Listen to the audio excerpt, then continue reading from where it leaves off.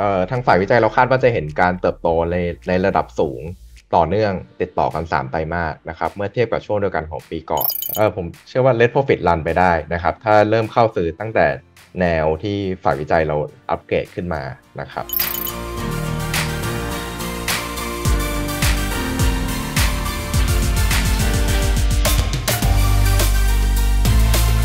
SPVI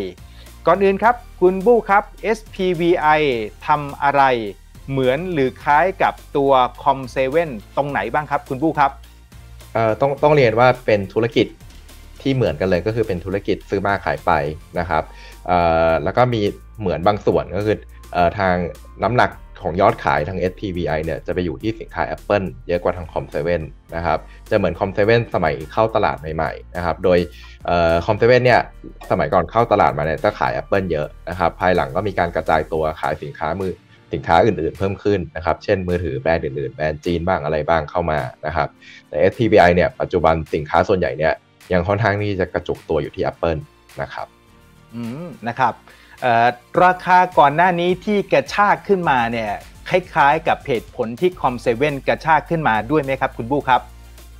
เหตุผลเดียวกันเลยครับ ก็คือเป็นเรื่องของผลตอบรับทั้ง iPhone iPad ใหม่เนี่ยถือว่าดีมากนะครับ โดยปัจจุบันเนี่ยถ้ากลับไปเช็คเรื่องของพวกยอดของผู้ผลิตสินค้าทางทาง Apple เนี่ยก็จะเห็นได้ว่าพวกผู้ผลิตชิปเนี่ย ยอดผลิตเนี่ยเติบโตกันระดับ 30-40%ทั้งนั้นนะครับ ก็ภาพมันก็เลยออกมาที่ในแง่ตัวแทนจำหน่ายก็ได้คล้ายๆกันนะครับ ก็จะเห็นได้ว่าถ้าอิงตัวเลขเดือนมกราคมพาของ SPVI เนี่ยยอดขายสาขาเดิมฝ่ายวิจัยเนี่ยเราคุยกับทางบริษัทถอดตัวเลขออกมาได้อยู่ในระดับ 30%นะครับ แต่ต้องเรียนสำหรับ SPVI นิดหนึ่งว่าเนื่องจากว่าความกระจายตัวของสินค้าเนี่ยต่ำกว่าคอมเซเว่นนะครับ เดือนมีนาเนี่ยก็เลยอาจจะเห็น ยอดเนี่ยมันอาจจะลดลงนิดหนึ่งนะครับ เพราะว่าก็เป็นไปตามธรรมชาติครับว่าปกติช่วงเปิดตัวของ iPhone เนี่ยมันก็จะเป็นอะไรที่ค่อนข้างจะค่อนข้างจะขายดีอยู่แล้วนะครับ ครับ SPVI เขาจะเน้นจับกลุ่มนักศึกษามหาวิทยาลัยมากเป็นพิเศษอย่างนั้นด้วยหรือเปล่าครับ คุณบูครับ ใช่ครับ ก็จะเห็นได้ว่า สาขาประมาณสักครึ่งหนึ่งเนี่ยจะเป็นลักษณะของ U Store นะครับ อยู่จะตั้งอยู่ในมหาวิทยาลัยนะครับ ซึ่ง U Store เนี่ยเป็นอะไรที่มีข้อดีมีแรงจูงใจให้เด็กๆเนี่ยซื้อพอสมควรนะครับ เพราะว่าเวลาซื้อเนี่ยเขาจะได้ส่วนลดที่ ถูกกว่าเรื่องของการซื้อหน้าช็อปปกตินะครับเมื่อแสดงบัตรนักศึกษานะครับในข่าวของ SPBI เองเนี่ยก็จะได้รับแรงผลักดันจาก Apple ก็คือเมื่อมียอดเหล่านี้เนี่ยก็จะสามารถนำไปเบิกได้ในภายหลังนะครับครับ แต่นิดนึงนะคุณผู้ ในช่วงสัปดาห์ 2 สัปดาห์ที่ผ่านมาเนี่ยเอา 2 สัปดาห์ที่ผ่านมาหุ้นคอมเซเว่นเนี่ยไม่ได้ย่อ แต่ทำไมราคาหุ้นของ SPVI ถึงได้ย่อลงมาล่ะครับ คุณบู้ครับ พอมีคำตอบให้ไหมครับ ต้องต้องเรียนอย่างนี้ครับว่าในในแง่ของผมผมเชื่อว่าตลาดจะมองว่าความกระจายตัวของสินค้าเนี่ย s t v อาจจะต่ำกว่าคอมเซเว่นนะครับ พอการขาย Apple เยอะๆเนี่ยแน่นอนว่าโฟกัสหลักนะครับของบริษัทเนี่ยย่อมอยู่ที่ตลาดที่อาจจะไปในระดับกลางถึงบนหน่อยนะครับครับแล้วก็ในพวกของพวกสินค้าเดสก์ท็อปหรือแล็ปท็อปอะไรต่างๆเนี่ยสัดส่วนที่มันมีน้อยกว่าก็อาจจะไม่ได้ได้ประโยชน์เรื่องของ work from home มากกว่ามากเท่ากับ COM7นะครับ ก็อาจจะเป็นเหตุให้อาจจะเหตุการปรับฐานลึกหน่อยนะครับครับอีกประการหนึ่งเป็นไปได้ไหมว่าหลังจาก a c Plus โบกนี้นี่แหละ ปรับเป้า SPVI ขึ้นมา แล้วทำให้ราคา SPVI มันก็โหขึ้นมาเยอะแล้ว ก็เลยอาจจะต้องย่อพักสักพักหนึ่งก่อน เป็นไปได้บ้างไหมครับคุณบู้ เป็นเป็นไปได้ครับ อันนี้ภาพผมว่าคล้ายๆ กับตลาดเลยก็คือตลาดเราขึ้นจากพันสี่ร้อยกลางๆ ขึ้นมาเกือบพันหกใช่ไหมครับ แน่นอนว่าเวลามีเรื่องอะไรที่อาจจะมาสะดุดนิดหน่อย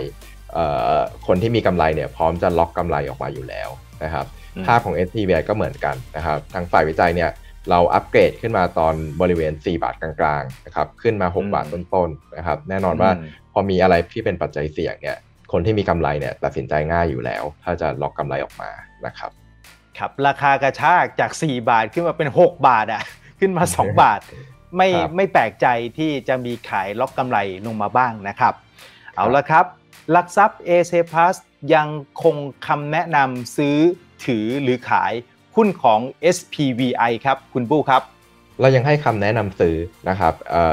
มูลค่าพื้นฐานกำหนดยังอยู่ที่เดิมเลยครับ6บาท92นะครับแล้วก็มองว่า SPVI เนี่ยมีความน่าสนใจมากนะครับโดยเฉพาะถ้าเราลองเทียบ valuation เทียบระหว่าง SPVI กับ Com7 นะครับ SPVI เนี่ยปัจจุบันมีค่า PE อยู่ในอยู่ไม่ถึง 20 เท่านะครับเมื่อเทียบกับคาดการกำไรที่ฝ่ายวิจัยเรากำหนดไว้นะครับขณะที่ Com7 เองเนี่ยในระดับราคาปัจจุบันเนี่ย แล้วเราไปอิงกับ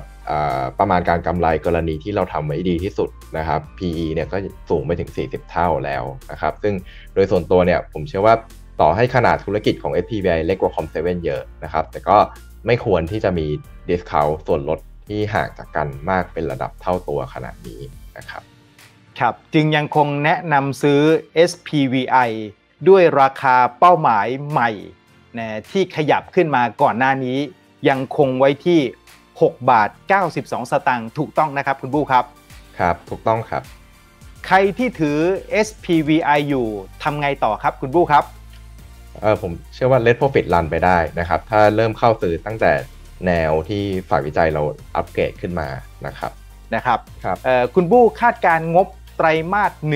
1 2 และ 3 ของ SPVI ปีนี้ ถ้าฟังไม่ผิดเมื่อสักครู่นี้ คาดว่าจะดีต่อเนื่องเลยเหรอครับ คุณบู้ครับ เอ่อทางฝ่ายวิจัยเราคาดว่าจะเห็นการเติบโตในในระดับสูงต่อเนื่องติดต่อกัน 3 ไตรมาสนะครับเมื่อเทียบกับช่วงเดียวกันของปีก่อนนะครับ โดยจริงๆภาพที่เราเห็นชัดมากตอนนี้ก็คืองวด quarter หนึ่งนะครับ quarter หนึ่งเนี่ยเบื้องต้นเข้าใจว่ากำไร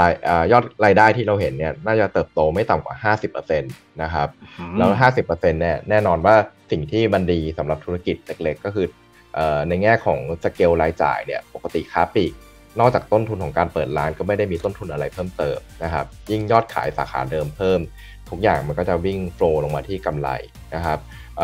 ถ้ายอดรายได้โต 50 เนี่ยกำไรผมเชื่อว่าเติบโตไม่ต่ำกว่า 80% 70-80%เนี่ยคาดหวังได้นะครับเมื่อเทียบกับช่วงเดียวกันของปีก่อนนะครับครับงบไตรมาสหนึ่งปีนี้คาดว่าจะออกมาสวยมากสำหรับ SPBI นะครับ หลักทรัพย์เอเซพัสแนะนำซื้อนะครับ และยังคงให้ราคาเป้าหมายไว้ที่ 6 บาท 92 สตางค์นะครับนะครับ ระหว่าง Com7 กับ SPVI ถ้าต้องเลือกแค่เพียงบริษัทเดียว ชั่งน้ำหนักทุกอย่าง ณขณะนี้เนี่ยถ้าให้เลือกเพียงบริษัทเดียวคุณบู้เลือกใครครับเนี่ยเอ่อต้องต้องเลือก SPVI ครับเพราะถ้าถ้าดูข้อข้อแรกเลยก็คือดูเรื่องของ valuation ก็ ถือว่ายังถูกกว่ากันค่อนข้างเยอะนะครับ ข้อ 2 ที่ผมว่าภาพที่มันดูดูแล้วมันระยะกลางถึงยาวเนี่ยผมเชื่อว่ายังคาดหวังความต่อเนื่องได้ได้ยาวนานกว่าคอมเซเว่นนะครับหลักๆเลยเหตุผลก็คือฐานกำไรเนี่ยยังถือว่าค่อนข้างจะเล็กนะครับ ดังนั้นเนี่ยถ้าการขยายทุกอย่างยังเป็นไปได้ดีนะครับ โอกาสที่จะเติบโตสูงเนี่ยก็ก็ผมว่าระดับสัก 20%ต่อปีไปอีกสัก 3-4 ปีข้างหน้าเนี่ย ไม่ใช่เรื่องยากนะครับ ขณะที่คอมเซเว่นเนี่ยจริงๆต้องบอกว่าถือว่าเป็นหุ้นพื้นฐานที่ดีมากนะครับ แต่ว่าด้วยฐานกำไรที่เริ่มใหญ่ขึ้นนะครับ ตัวธุรกิจใหญ่ขึ้นเนี่ยการเติบโตต้องยอมรับว่ามันจะยากขึ้นเรื่อยๆนะครับแล้วพอไปถึงจุดหนึ่งเนี่ยอาจจะต้องหา S curve ใหม่ๆนะครับอย่างที่เคยได้เล่าให้ฟังในรายการ ไม่ว่าจะเป็นเรื่องของออการที่ทางผู้บริหารไปลงทุนในชโยนะครับอาจจะขยายไปสู่ธุรกิจการ ปล่อยกู้และติดตามหนี้นะครับหรือว่าการที่ทางคอมเซเว่นเองถือหุ้นอยู่ใน NCAP ที่ทำธุรกิจสินเชื่อนะครับก็คงต้องอาจจะมองภาพ ถ้าถ้าท่านไหนชอบคอมเซเว่นก็คงต้องมองภาพ S curve เหล่านั้นต่อต่อไปนะครับแต่ถ้า SPVI เนี่ยผมเชื่อว่าด้วยตัวธุรกิจขาปีเองเนี่ยมันยังเดินหน้าต่อไปได้ในอีกสักสามถึงสี่ปีข้างหน้านะครับครับถามเผื่อไว้นิดนึง ถ้าคุณบู้ cover Synnex เนี่ยจะเลือก Synnex ไหมเอ่อ Synnex ต้องต้องเรียนอย่างนี้ครับว่าจริงๆเราทางฝ่ายวิจัยเราไม่ได้ติดตามนะครับ แต่ว่าก็ถือว่าเป็นอีกบริษัทหนึ่งที่พื้นฐานแข็งแรงเช่นเดียวกันนะครับ เนื่องจากว่าถ้าเราไปดูในแง่ของ supply chain ของพวกตัวแทนจำหน่ายสินค้านะครับ Synnex จะเป็นคนที่ขายส่งนะครับ แล้วก็ส่งไปยังพวก อาจจะเราอาจจะคุ้นเคยกับร้านคอมพวก JIB นะครับครับคอมเซเว่นนะครับรวมถึงร้านค้าต่างๆ ที่เราเห็นมากมายในตลาดนะครับซินเนกก็จะเป็นอะไรที่เป็นร้านค้าส่งนะครับ ก็ จะเป็นอีกขาหนึ่งที่ได้ประโยชน์เช่นเดียวกันนะครับ ครับแต่เอาถ้าเอาที่ cover ก็ตามนี้แหละนะครับยังชอบนะครับ SPVI มากกว่า Com7 ไม่ใช่ว่า Com7 ไม่ดี แต่ว่า